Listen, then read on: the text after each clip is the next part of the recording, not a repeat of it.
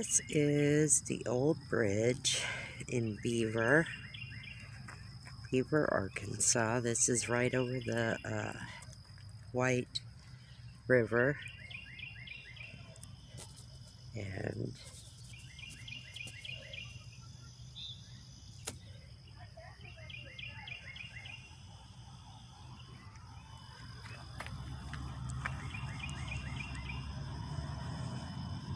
seems to be quite old. So, welcome to Beaver.